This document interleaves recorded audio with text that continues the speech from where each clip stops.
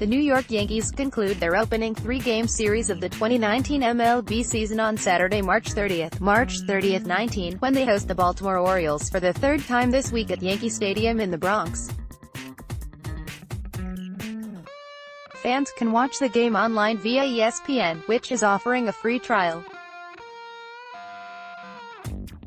ESPN offers special MLB, NHL and MLS games, international soccer, UFC fight nights, college football, college basketball and more. All MLB games on ESPN are subject to the league's blackout rules. Get tickets for the Yankees and other MLB games via Prime Sports, StubHub and SeatGeek. See the Yankees on the road. Book MLB travel via TripAdvisor, Airbnb and cheap flights. Buy New York Yankees and other MLB gear at Fanatics, MLB Shop and Champs. Bet on the game or on the Yankees to win the World Series at DraftKings and get a free $20 bet when you sign up.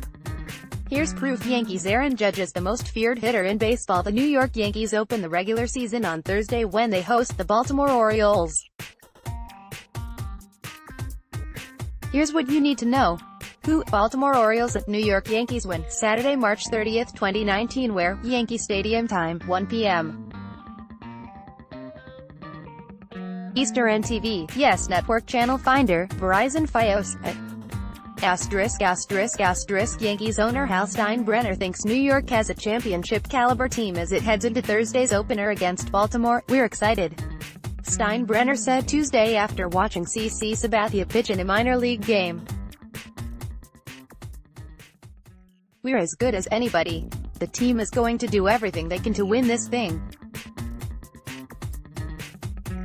I believe they're going to play up to their potential. Steinbrenner thinks the Yankees have enough depth to overcome injuries to Sabathia, Luis Severino, Dellin Betances, Didi Gregorius, Aaron Hicks, and Jordan Montgomery. I'd like to be more healthy, but the good news is none of the injuries are significant and the guys are going to be back. Steinbrenner said.